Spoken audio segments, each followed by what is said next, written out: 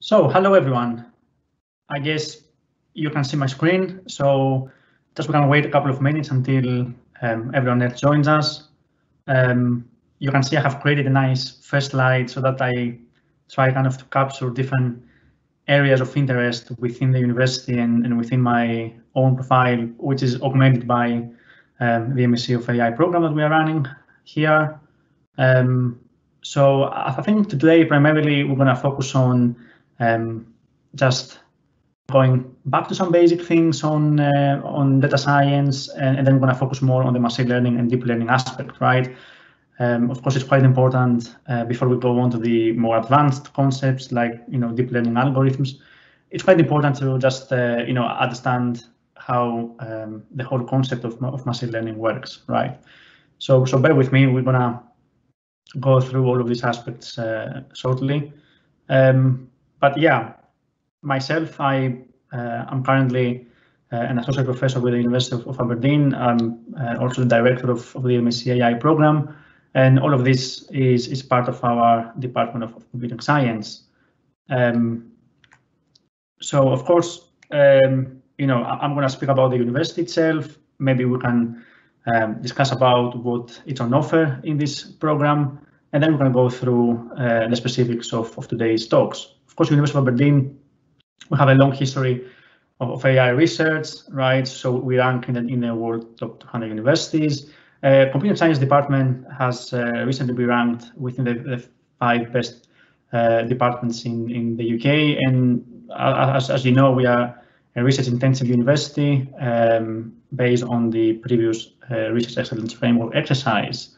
Uh, currently, we have quite a few um, AI research projects um, that are funded by different funders, for instance, UKRI, EU Horizon 2020. And all of these projects of course, they have a, a solid theoretical uh, component, but also they're focusing on different application areas, right? Uh, and that's quite important. So within the program, um, the MSc that we're discussing today, um, to some extent, we are covering different topics, right?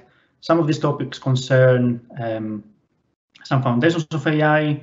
So we go back to the basics of what AI is, how we, we define intelligence. We have some probabilistic models and some Bayesian approaches that we discuss about. And then, of course, we have other aspects that relate more to machine learning, applied AI, natural language generation, and so on. Um, so today, I thought that uh, it's going to be a good opportunity to maybe introduce some basic concepts on, on machine learning and deep learning.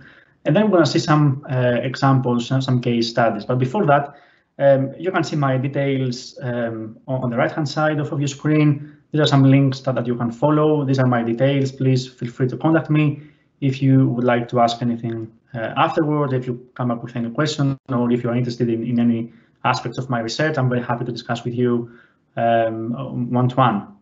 So um, I would say that myself, uh, I have an equal interest between uh, the theory in machine learning and also application, right? So within the the scope of machine learning. I'm I'm very much interested in deep learning theory, and um, I have a few PhD students and projects related to capsule networks, which are a specific type of, of neural network. We're going to see later on.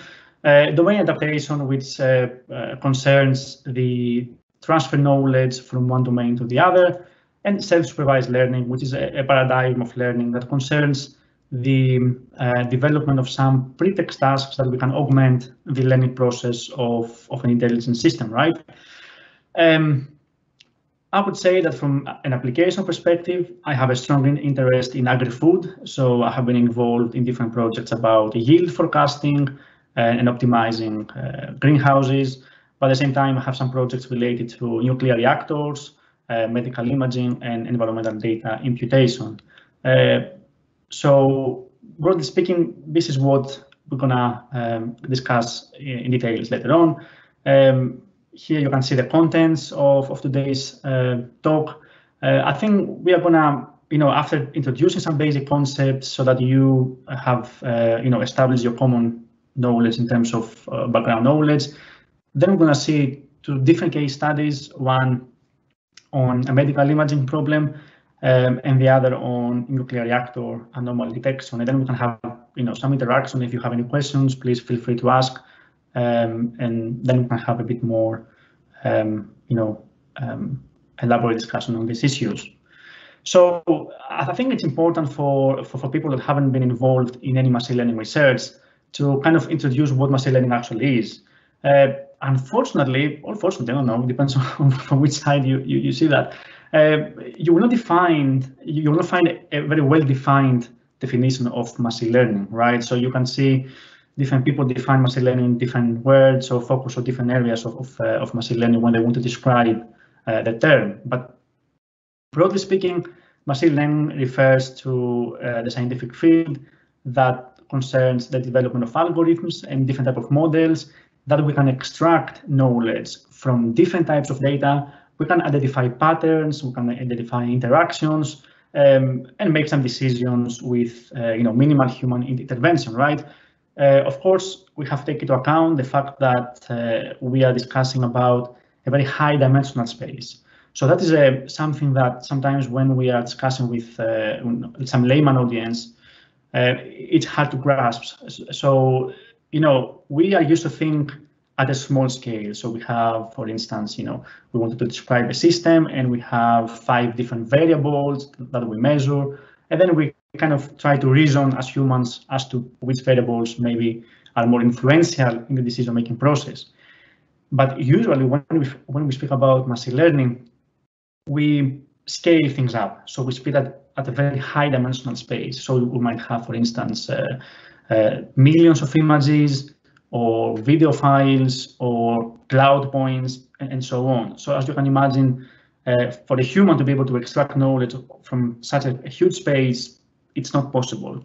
That's why we employ machine learning models that they can not only automate the process, but also be powerful enough to scale things up, right?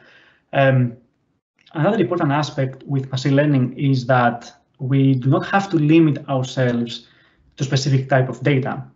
So we can combine different data sources, um, not only in a unimodal way, which unimodal in this case means that we are using only one modality, for instance, images, but we can scale it up in a multimodal manner. So for instance, we might have a problem um, that we are collecting images and at the same time we have uh, sensor data, right? Time series. We can combine both sources and then using information from both types of data, then we can train a model on top of that so that we extract knowledge and, you know, develop something that's more accurate, more, more precise, right?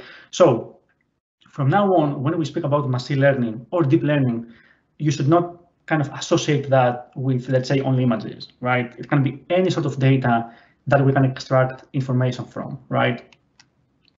Of course, machine learning, um, it's, you know, it's a very high level definition then we have deep learning, which you know focuses more on, on the neural networks, which is more uh, the focus of, of today's uh, lecture.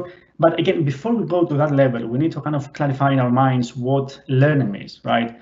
And in the machine learning context, we have um, three different types of learning. The most common one is the self is a supervised learning, the one that, that you see here. In the supervised uh, context, we have uh, data, right, that we are collecting. But at the same time, we have the corresponding annotations of the data. So for instance, if we have an image, we know that this image shows a dog, so we label this image as, as a dog. So then if we have a learning algorithm, it can try to identify what features within the image correspond to a dog. And then you might have images of a cat or other types of, of animals, right?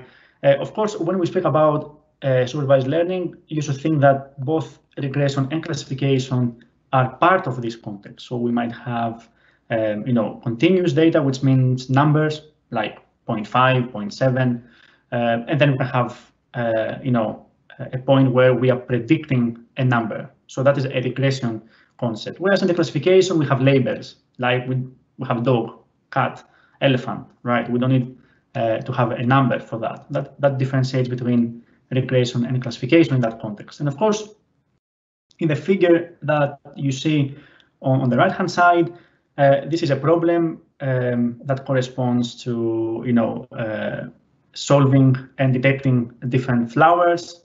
Uh, and you can see, for instance, that we have the sepal length and the sepal width here. Uh, and of course, the different colors that we have one, two, three, here, for instance, corresponds to different classes. So in this case, we would have three different flowers. And all of the data points that you see in this area correspond to, to data that we have collected about the different types of, of flowers, right? So that concept is, is the, the, the supervised learning. Uh, sometimes in, in real life applications, we might have an abundance of uh, data that are not annotated. So for instance, we might have, uh, you know, environmental data that we don't have a corresponding label. So, you know, we, we know that this data exists, but um, either it's very laborious to annotate them or we cannot annotate them because it might be a retrospective uh, process. But at the same time, uh, we might have some data, so you know a smaller sample of data that um, we have the labels for, right? So let's say that we have 1 million data that are not annotated and 1,000 data that they are annotated. So in this context, when we combine these two different types of, uh, of, of, data paradigms, we have a semi-supervised learning case. Um, so of course, there are different techniques that can be used uh, to kind of extract uh, knowledge from uh, these two different types of, uh, of learning paradigms. Um, but actually, to be honest, in, in real life applications, we are focusing uh, mostly on the two extremes, which is the supervised or the unsupervised uh, context. So in the unsupervised context, actually, it is what we said previously. So we don't have any, any, any annotations at all. So in that case, we are collecting data. For instance, let's say that we have images, um, but we don't have um, the labels. Uh, for instance, that you know a specific image is a dog or it's a cat or it's an elephant, uh, but we have the images, right? So in this case, in the unsupervised way of, of learning, we are trying to find what features we have within each image so that we say, you know what, I might not know that this image corresponds to a dog, but trust me that I understand that you know an image that shows an elephant uh, versus an image that shows a cat, hmm, they'll be different, right? So I cannot tell you that this is a cat or an elephant, but I can tell you that this image is different than this one. Okay, so that is the context of unsupervised learning. And of course, uh, on, on, the right lower side of, of your screens, you can see a plot, which in this case, it's a plot uh, as you will see, it's a three-dimensional plot. Um, and then we have different clusters. So that's why when we speak about unsupervised learning, uh, you have to get used to the concept of clusters because you will find um, some sort of uh, you know other type of um, uh, of uh, books or, or lecture that they will you know specifically mention this concept as clustering.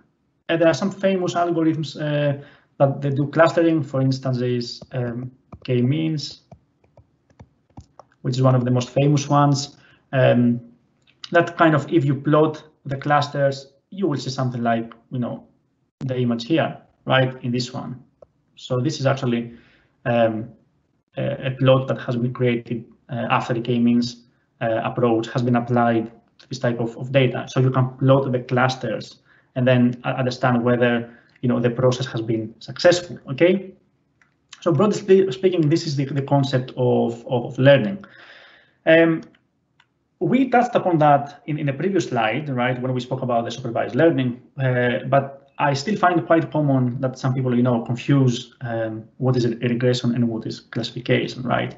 Um, if we put it in a simplistic way, classification is when um, we are trying to find within, let's say, the space that we have available, so the data that we have available, we're trying to find what patterns exist that we can use to classify something. As we said before, I find that you know a dog has you know bigger nose or whatever uh, than a cat, and then you say this is an important feature that differentiates between uh, dogs and cats or other types of uh, attributes.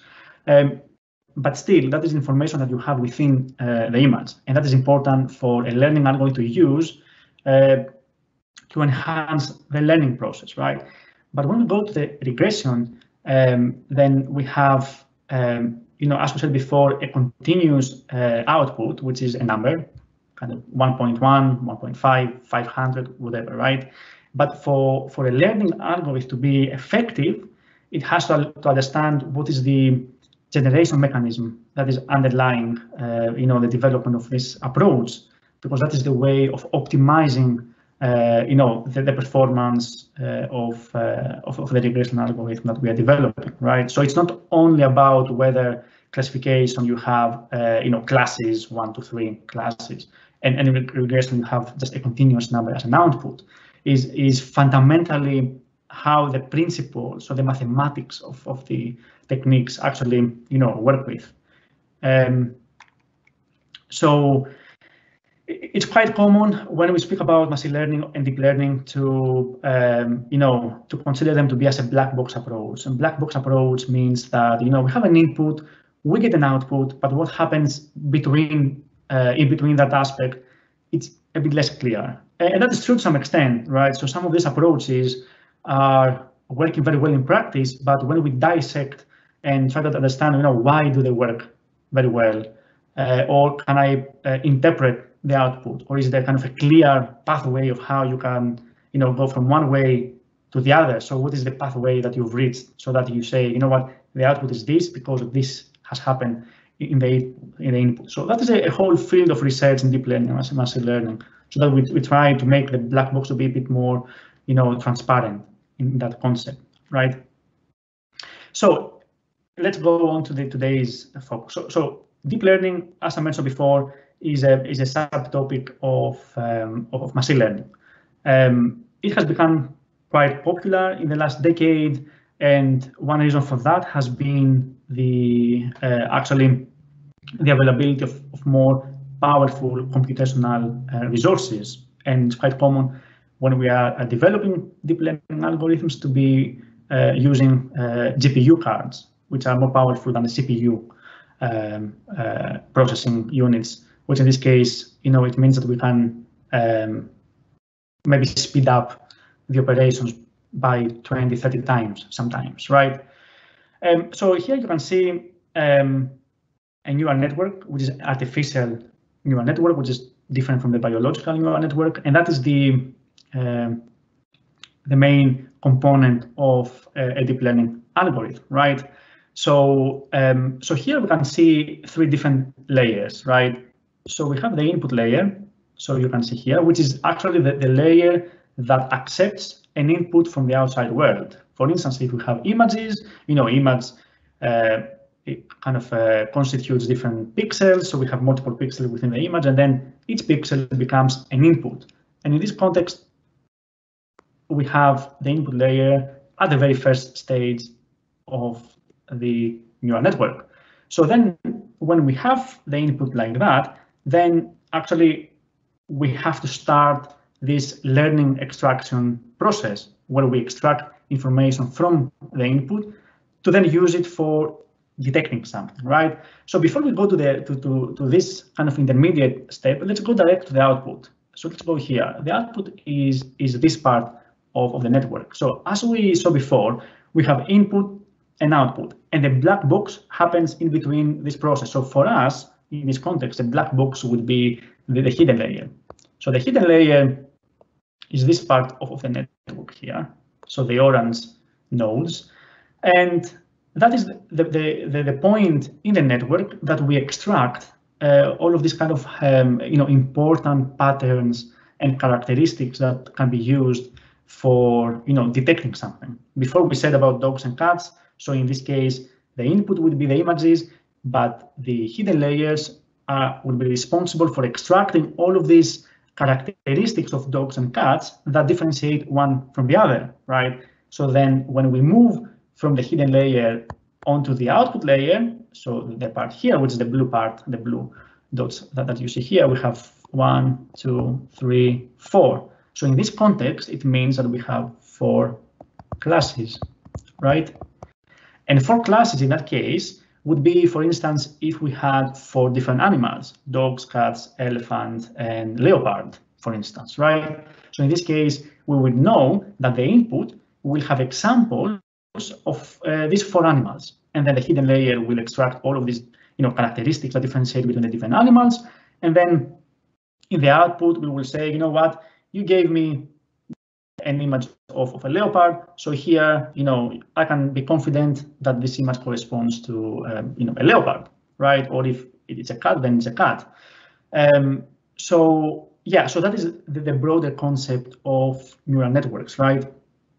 But of course, here you can see a very simplistic example. Uh, so in this example, we have two hidden layers. So you can imagine hidden layers as the means of making models more complex, right? So, so in practice, uh, when we design neural networks, we can go either uh, horizontally, like that. So we might have, let's say, 10 layers, right? But we can also go vertically. So we can go like that. So which, which means that we have more units. So these circles that, that you see here, they're called uh, units or neurons or nodes. So you can find different ways of, uh, of referring to them. So when we make more complex models, we will um, increase the number of layers, but at the same time, we might increase the number of, uh, of, of, hidden uh, nodes, right? So in practice, in uh, you know in real life applications, you might have you know 10, 20, 30 hidden layers, and you might have let's say 500 um, neurons in that case. So that, that is quite a realistic example. And of course, that scales with the problem. So some problems are, are much more uh, complex than others.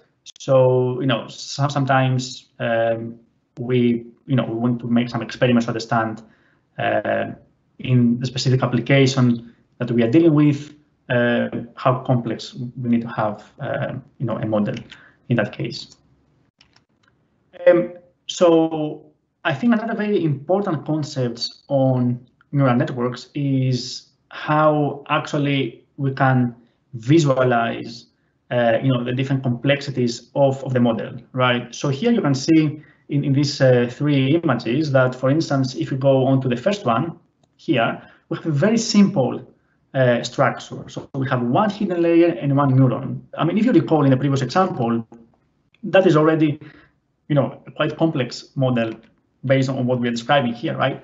Um, so in one hidden layer in one neuron, as, as you see, we have two different classes. One class, you can see, you know, examples are here, and in the second class, we have the examples here. But of course, you see that the way that the different data points, which in this case, we can think of these data points as being two different classes. So again, let's say that the orange dots, so that the dots here correspond to um, characteristics of cats, right? Whereas the blue ones in the middle, let's say that they are characteristics of dogs.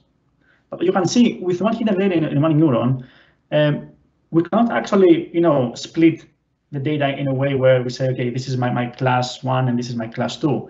So we need something more complex to that one.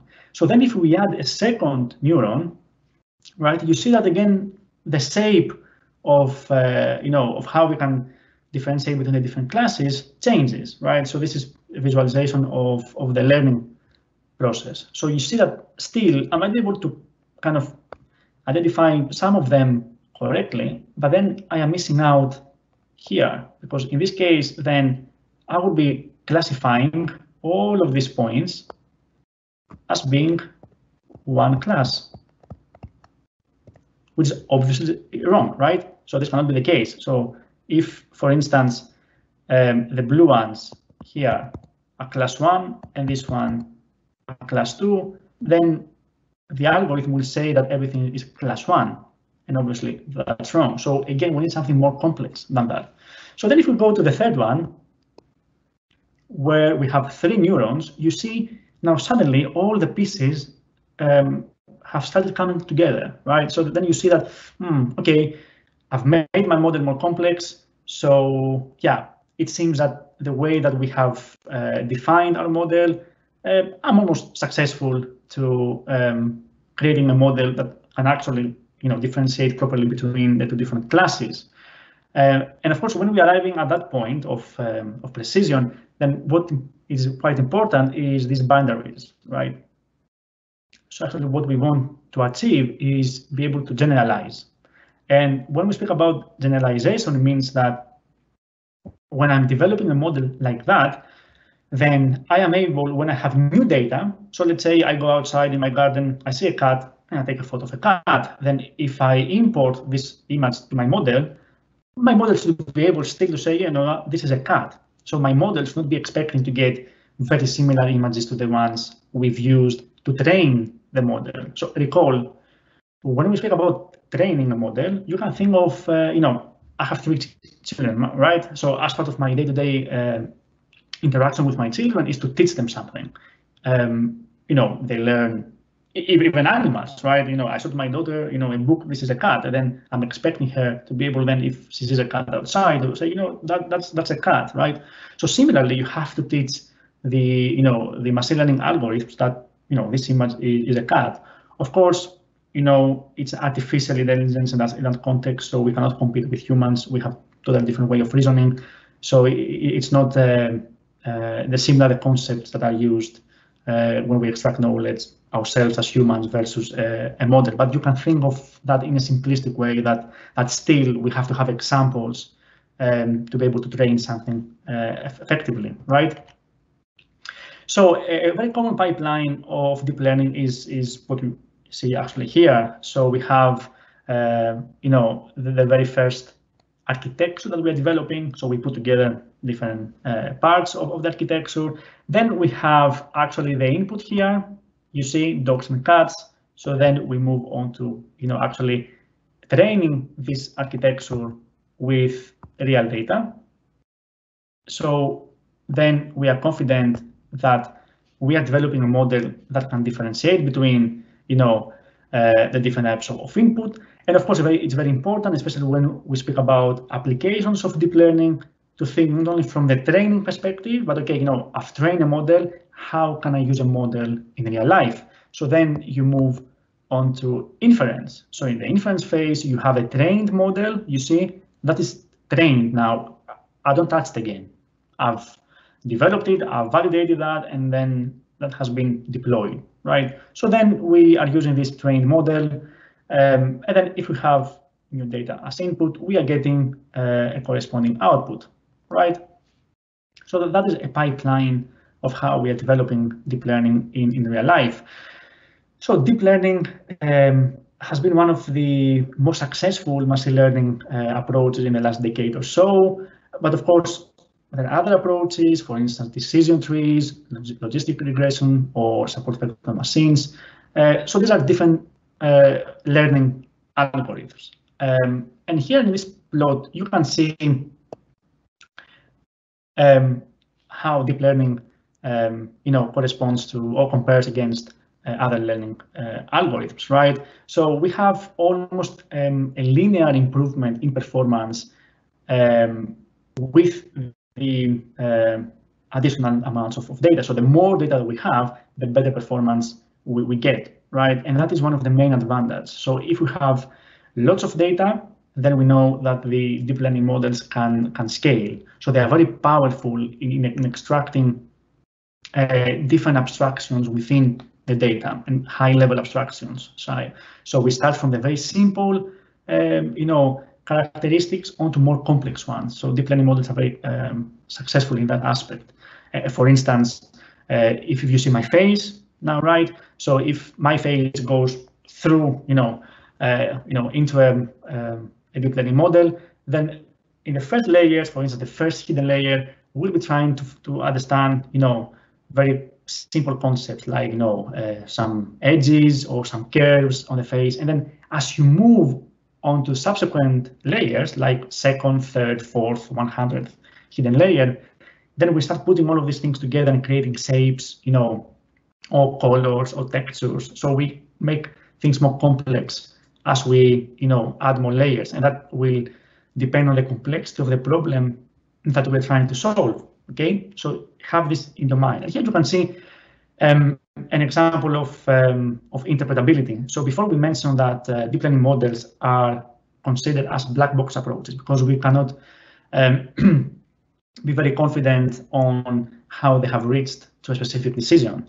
Um, so yeah, I mean, to be honest, you will find different people um, agreeing or disagreeing with this type of, uh, of plots because you know, machine learning by definition, it's not a very transparent approach because it's, you know, especially if you have high dimensional data, so you can only go, you know, as far um, to um, understanding how a decision has been has been made, right? But you know, as a as a rule of thumb, you, you can think of deep learning to, uh, as being one of the most uh, accurate, most uh, highly performing models, but less interpretable compared to other ones. Um, examples of which you, you can see uh, in this plot, like decision trees, k-nearest neighbors, and, and so on.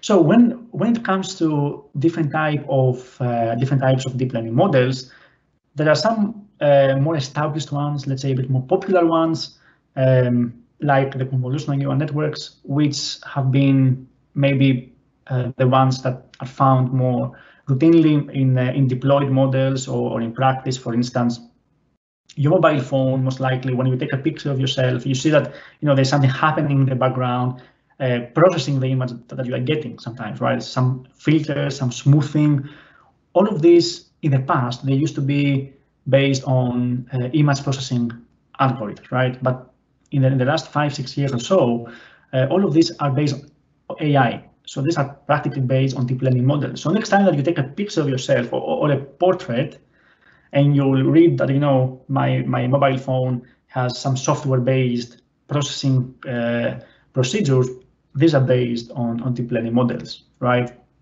And convolutional neural networks has been one of the most um, successful ones. So you can see here that um, we have an input, an image. So recall what we discussed before, we have images as input. So this is the first thing that we um, kind of importing to um, a deep learning model. So the difference between what we saw before in the example with the different hidden layers to a deep learning model like this one is that we have this part of the model, right? So before what we saw was this part, right? Before we had three, we had two, now we have three. So this part here, which is the convolutional part, uh, it has a series of different filters, you can think of it as filters, which are called convolutional layers, that they are much more powerful in going through different parts of the image like that. So if you had a filter, this is what it would be doing, what I'm doing myself now. So take different patches of the image, right? And then try to extract information from each of these patches so that then you understand, you know what, this part of the image shows, let's say, the calories, and I'm trying to kind of have an automated system that uh, for instance, detects at which part of, of, the food packaging label you can find the calories, right? So that is uh, an example of, of a deep learning application.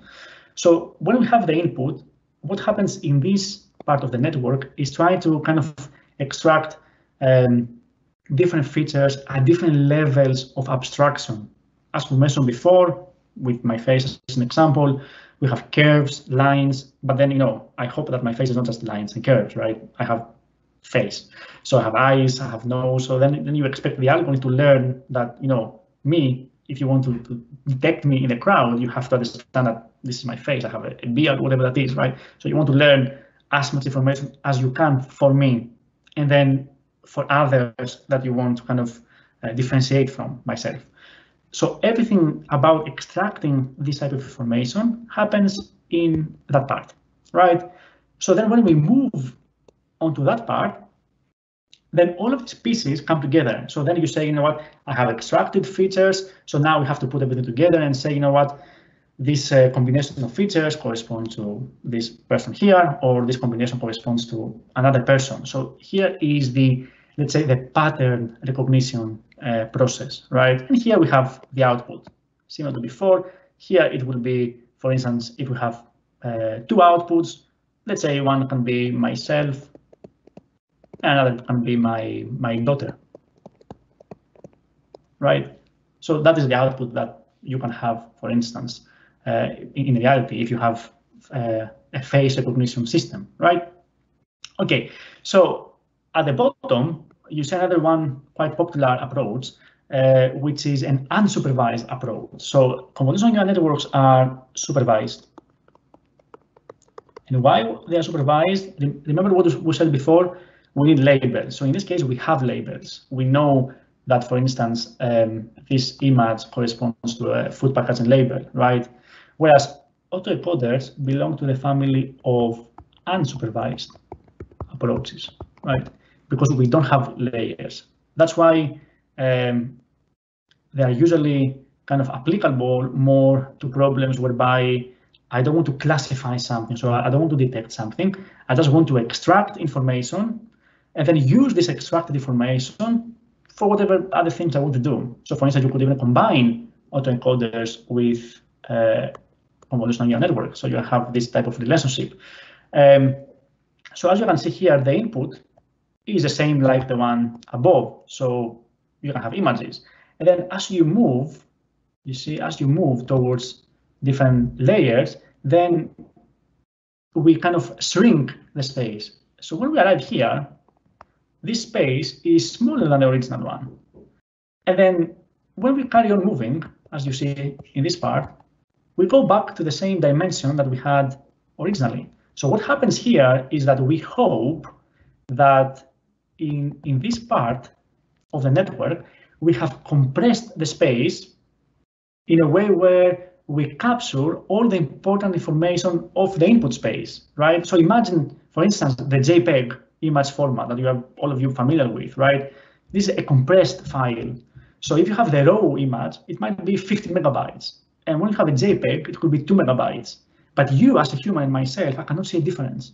So the algorithm has managed from a 50 megabyte space to go down to two megabytes without losing, um, you know, extensive information, right? Of course, uh, the quality might be affected, but not to a level that you as a human, if you want to, to, to see that in your mobile device or in, the, in your PC, you will see a difference, right? So what happens here is we compress the space and then how successful that approach is depends on how well then you can go and reconstruct that. So actually from the point that we are here, then again, we are moving towards this part. So the closer this part is to the original input, the better the process is. So we want to lose as much information as possible and still have a much smaller space here when we compress the uh, kind of learning process, right? Another very famous um, type of neural network, which all of you have seen, definitely, is generative adversarial networks. So you you will definitely have seen that in applications of uh, generating fake images of celebrities or uh, fake art. So all of this is based on this type of, of neural network, right? So of course, it's a complex type of model, but in a, in a simplistic way, we can say that you have parallel models, okay? So one model uh, is, let's say, exactly the same like the one we saw before. So we have a convolutional neural network that learns from real data, right? Nothing changes the same exact process. But at the same time, um, I have a second model that works in parallel with the first one, where they play a game. So think of it as a game. So they try to compete with each other, right? So the model that learns from the data is called discriminator, right? So that model gets real data. The other model, which is the generator, tries to generate fake images that they look as closely to the original ones, so to the um, real ones, as possible. And that happens, you know what? Let's try to fool you. So then um, the generator tries to fool the discriminator. And then, you know, they play this game constantly until you arrive to a point where generator, through multiple iterations, has managed to learn very well how things work so that it can fool the discriminator. So you arrive to a point where the images like this one, right, that is generated by the generator are very similar to the real images. So then when the discriminator tries to say, you know, is this a real one or a fake one? So it arrives to a point where the generator has become so good and successful that the fake one is very closely, uh, you know, related to the real ones. That's why you get, for instance, fake celebrities. So you see a face that you can say, yeah, I don't know, it could be a celebrity somewhere uh, that looks like that, right? Because it looks realistic in our eyes, right? So that is the generative adversarial networks um, type of model. And then we have uh, another type of model which called recurrent neural networks, which is a, a, type of model that is used when we have time series. So in this case, we are having, let's say, sensor data. So in sensor data, we might be getting, let's say, data at multiple in inputs, right? So we have T, in this case, is time. So we have, let's say, four time steps. And then from each time step, we are, you know, learning. So we have one, two, three, four, right? So, so in this case, each of these units that we have created here tries to learn something from its timestamp. And then having this temporal component, we're able from different timestamps to extract information so that then we say, you know what, in the last day or so that I have data for, um, we can say that, you know, the weather was good. So an example could be, for instance, you know, from the previous day's uh, data, temperatures that we get every minute, uh, classify how the weather has been. I don't know, I haven't, I haven't watched BBC News, I haven't have an idea about the weather. So from the data of yesterday, please classify whether that is, um, you know, whether the weather has been good or, or bad. So you, you, you exploit all the temporal information we have available to detect something. And again, let's go back to what we said before. In this context, it can both be a regression problem or a classification problem, right? And a bit more recent type of, of networks, which is part of my uh, kind of immediate research, are capsule neural networks. So that is quite, uh, you know, a revolutionary way of thinking about uh, deep learning. So fundamentally, the same concepts that we've discussed so far are valid for this type of, of networks. Uh, so you can, whatever we discussed about convolutional neural network uh, can be applied to, to this type of models. But the difference between CNNs, convolutional networks, and capsule networks is the fact that capsule networks are much more um, aware of the um, spatial information within an image. So for instance, this is a very famous problem which is called a Picasso problem, where we have, you know, an eye here, a mouth, nose, another eye. So a CNN, because it doesn't have very well defined spatial information within the image, it might still detect this image as being face, right? But me and you, you understand that, okay, yeah, if you think of it in, in an abstract way, you can say, yeah, that is a face. Mm, depends on how you, define a face. Hopefully there's no one looking like that in, in practice. But you would say, no, okay, yeah, that, that seems to be a fake uh, face, right? So this is not real. Maybe this is art.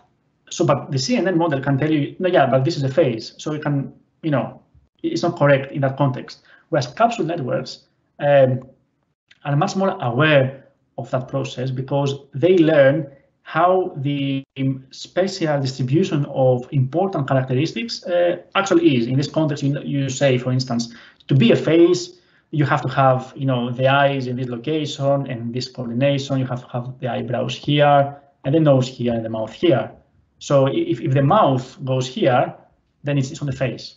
Okay, so that is a, new type of model that has emerged in the last couple of years that, uh, you know, we are using to uh, make more robust systems, right? Of course, they have the problems. You know, uh, that is something we discussed extensively in our program here. So if uh, you know uh, students in uh, courses that we have, for instance, uh, machine learning, applied AI, and the data mining, we go in depth about these type of problems, and and we kind of go to the mathematics of of, for instance, how you can develop such models from scratch and understand, you know, the concepts behind why capsule networks are different to CNNs, right? So now we, have seen um, some basics about deep learning. So I'm going to show you a couple of uh, examples that we have applied deep learning um, in this context. And I'm very proud of, of the first one, um, which is a COVID-19 detection from chest X-ray images, because that was an MSc AI student project that uh, it was achieved just in three months. So that was that was a project that uh, you know uh, the students started last May when um, students at the MSc programs uh, start the uh, AI project. So the idea was that we use uh, medical images that we um, can find available. Uh, you know, in this context, they are available because of the COVID-19 case. So, you know, I'm not sure how aware you are about that, but because of, this pandemic and to be able to develop systems that you can actually help with the pandemic, uh, most of the clinical data have been made uh, available to the research community, which doesn't usually happen in the medical domain because it's a very kind of um, regulated uh, concept where to get clinical data, you have to get, you know, um, ethical approvals and, and so on. But in this context, for the COVID-19, things were a bit simplified. So for this project, we had um, images like these ones, which are X-ray images that show the chest. And within each of these images, um, for instance, uh, one of them is normal, so it means that you have no pathology. The other one has COVID-19 and the other one has um, other type of pneumonia, right? So the uh, the objective of this uh, study has been to develop a system. The system is here, right? So it's based on deep learning. To be able to learn corresponding features from all of these different classes. So in, in this case, we have a three class problem. So that we are able then to um, kind of detect whether we have, you know, COVID-19 or other type of pneumonia or nothing, no pathology at all. And of course, we, you know, because we touched upon before the robustness of machine learning approaches, uh, it's quite common sometimes uh, when we have small amounts of data to be learning some characteristics of the image that sometimes do not correspond to reality, right? So in this case, for instance, uh, to give you a quick example, if we have uh, three different types of images that we see um, here, it might be that these images come from different hospitals, right? So different hospitals might employ different uh, protocols. So sometimes when we develop algorithms, when we have few data, it could be that the algorithm, um, you know, learns um, variables or characteristics of the images that do not correspond to the actual problem. So in this case, the problem is to detect COVID-19. So it, they might be learning, uh, you know, Uh, the image protocol.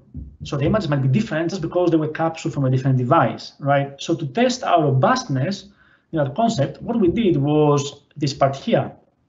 So we created a patch, a black patch totally, so that we can obscure the image, and then we try to use the same technique to say, you know what, okay, now with the chest obscured that doesn't appear in the in your image, can you still detect COVID-19, right?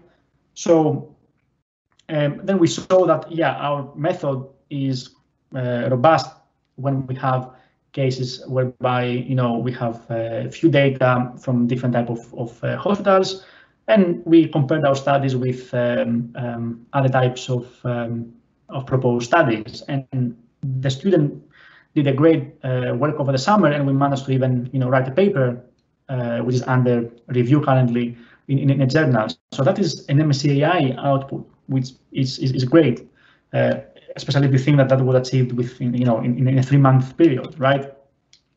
Another example that is quite uh, related to my own as well research activity is detecting anomalies in nuclear reactors. So as you know, nuclear reactors uh, you know, in different countries and in the UK is one of the main sources of producing uh, energy. But of course, reactors, um, you know, operate at different conditions. So, you know, some of them, they are very old now, and the different events that happen in the reactor uh, that are not ideal. So in this case, we would like to create a system that from the operational data of the nuclear reactor, we are able to say, you know what, I detect that there is an abnormal event happening at the, at the moment. Maybe you have to act upon that. Maybe, you know, have a, a um, an engineer have a look at that to see if that is normal or not. So that is a very important problem because as you can imagine, you know, we wouldn't like to have uh, another disaster, you know. So you would like to have as much uh, help to identify possible problems within reactors. So a machine learning system and uh, an expert, a nuclear physicist in that context, working both uh, in, in, synergy, and that is very important in, in, that context. So then we develop a system, and this is a system that, that you see here that combines uh, the two different type of deep learning models. So in this case here, I'm sure now after this lecture, you will quickly identify that this is um, a recurrent neural network, RNN, specifically LSTM. LSTM is a type of recurrent neural network. And then we have also um, a second type, which is the CNN, which is the convolutional neural network. So then we combine information that we extract from both of these type of networks to uh, first here detect different types of anomalies. Let's say we have two different types of anomalies, and here we say yes. So this is one type, and this is another type. And then, because as you know, and probably you've seen somewhere that a nuclear reactor has a structure, so it's like a 3D structure. You can easily say that, you know, if you have a 3D structure, then we have uh, three dimensions, right? So X, Y, and Z, for instance. So in this case, then we go here and ijk in this case are the coordinates and we say, you know what, you uh, detected that there's an anomaly happening, you know, that is called perturbation one, right? And then you say, okay, we know that, but at which part of the reactor does this happen? So then you go onto that stage here to say, you know what, that happens at this location, at the IJK location, where we have a sensor. So tell your engineer to kind of focus on that area because this is where I'm getting something from, right? So in this case, this is a very good example that we combine both the classification, which is the first part, and the regression component, which is the second part. So the classification gives you a binary output, so perturbation one and perturbation two, whereas the, the regression part, it gives you a location. So it gives you a number to say, you know what, don't look everywhere, look at this location because I know that this is where everything uh, originated from, right? So you are becoming much more precise, and that's very important. So bottom line, what we also did was that we tried to complicate our lives. So in this case, we uh, you know, obscure the data. So we removed sensors, we added noise in the data, and the purpose of, of all of that was so that we say, you know what, can we maybe replicate more uh, what will happen in a real life scenario? So we try to kind of create different scenarios. So then we made the problem a bit more difficult. So then when we try to produce results, we try to kind of evaluate different type of scenarios, right? So, um, so what this problem uh, kind of has a, as a specific attribute is that it's a very high impact, uh, you know, real life problem, which means that if you make a mistake, there is, you know, a massive impact that can happen or an event that might happen that, you know, can create massive disruption to, to, to the uh, very large part of, of, the society, right? So again, that is a message that I want to pass across uh, in, in, today's lecture in a sense that uh, when we build real life AI or machine learning or deep learning applications, it's very important to understand the problem before we go on to designing a model. We have to understand what are the implications, what are the assumptions, what are the requirements. That's why we, we work very closely with stakeholders, with industry partners. Uh, and our MSc students do the same. So they go on to placements, they go on to uh, you know different companies to work after graduating. So that's a very important aspect that we uh, focus a lot in this uh, MSc program uh, as well, right? So as we uh, wrapping up things, I would say that you know of course deep learning is not the you know the solution for everything. Uh, there are some open problems in reality. Some of them correspond to scalability and computational, computational demands. Uh, as I said before, to train a deep learning model, you need resources, which are expensive sometimes or not available. So that is, you know, a caveat when it comes to working with deep learning models. Of course, uh, computing scientists are not, uh, you know, we're not working in isolation closed in our space and just not communicating with anyone else. So in real life, when you are uh, deploying models in real life, you know, through uh, different, you know, processes that, that you are employing, you have to collaborate with others. Others could be clinicians, you know, medical practitioners, physicists, engineers, managers, you know, you have to, to have this skill of being able to collaborate with others. And this MSCI program covers that aspect quite extensively um, as well.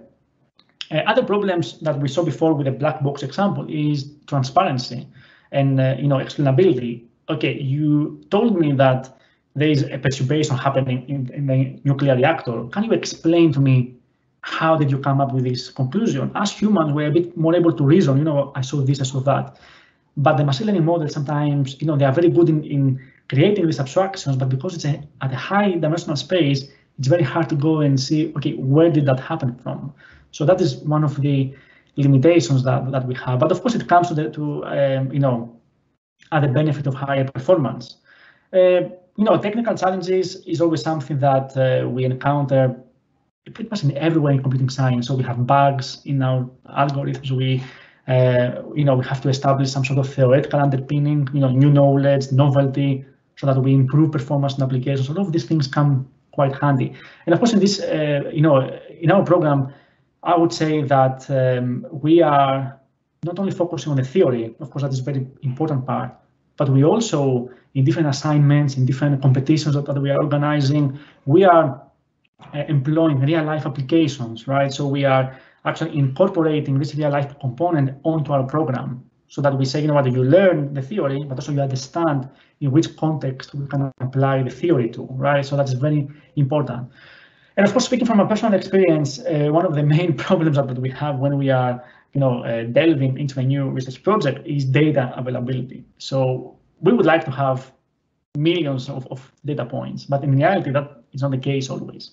So a big part of deep learning research concerns the development of techniques that they can learn for few examples. So we have, let's say, uh, very few examples of a specific class, and you want to develop algorithms that you can, you know, learn from just very few amounts of data, and that's called one-shot learning or few-shot learning. And that is one very important aspect that we cover as well in this uh, program.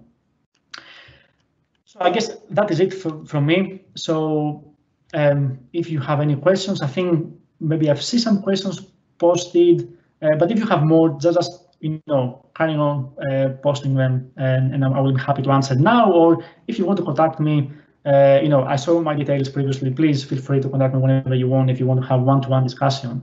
So I will go on to the first question, which is, do you need experience in deep learning to study at the university? No, you don't need experience in deep learning to study at, at the university, especially at our MSCI program deep learning knowledge is something that is covered as part of our curriculum. So we have different courses. One uh, that I'm teaching myself is called data mining, where we actually go onto details about all of these uh, models that we discussed today, like CNNs, capsule networks, recurrent neural networks. So, so you don't need knowledge in deep learning to join our program. We cover that as part of our curriculum. Uh, what programs on offer include deep learning and machine learning? Uh, I think the only problem, the only program uh, within our university that covers both aspects is is the MSc on AI program that we deliver um, as part of our uh, offer. So we have the MSc AI program, which sits within the Department of Computing Science. I am directing this program, and, and that program is a highly specialized one that we are trying to, to cover all the state-of-the-art concepts at the moment on, on AI, on machine learning, and on deep learning.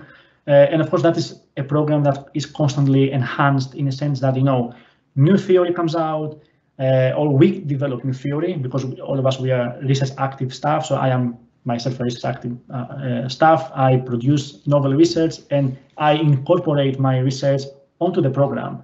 That's why, uh, you know, we, we are offering a very highly uh, specialized uh, program because we are actually constantly improving the program when we have you know new research, new application areas like you know uh, the nuclear reactors that I saw previously. For instance, myself sometimes uh, a different context I even introduce students to this kind of project. So students have the opportunity uh, to get actually involved in, in research projects that we are running uh, via, for instance, the uh, MSCI project that they do over summer, or even throughout the study. So they contact us, say, you know, I'm interested in this concept. Is there anything that I can help with or contribute to? So we encourage this from students. And of course, many students go on to do a, a placement as part of the uh, MSCI project. And that's something that we encourage them. And, and we have uh, local links with uh, industry and also we have very close collaboration with the Data Lab, which is an organization in Scotland that uh, also funds uh, MSCI programs, but also accommodates different placement opportunities for uh, graduates as part of that. So we have many opportunities for students not only to engage with us throughout the studies, but also, you know, put the, the skills in practice and uh, work as an intern or even, you know, uh, as graduates to different local industries within Aberdeen or even within Scotland. So we try to, to, to accommodate that and, and encourage that, right? Um, so yeah, that is it from me. Uh, I'm not sure if we have any more questions um, in that context. So I think we, we covered uh, quite a few aspects of, of, our program. So if I can finish uh, with some, you know, further lines about our program, I would say that uh, what University of Aberdeen does very well is that we are combining, as I said, very novel theoretical concepts into our programs and also real life applications. So we believe that you know to create a successful pipeline uh, that is delivered as an MSCI program, it's very important to focus both on building upon uh, some very solid uh, theoretical concepts, because otherwise, how can you understand what, what you are doing? But also put everything into context and say, you know what, we are learning this theory because real life applications demand some type of concept.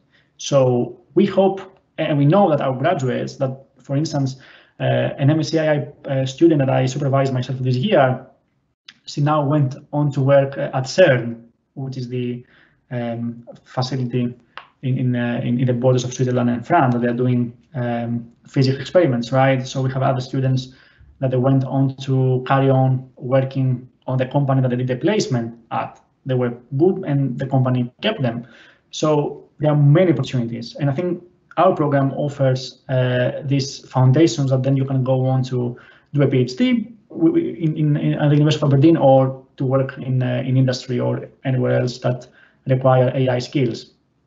So that, that is how I would like to finish uh, today's lecture. So unless you have uh, any other questions that, that you want to post, I would like to thank you for uh, attending today and, and for watching this, this lecture. I hope you, you got some, some useful information out of that, and I'm really looking forward to uh, actually uh, meeting some of you that you decide to, to join our program uh, soon. Bye-bye.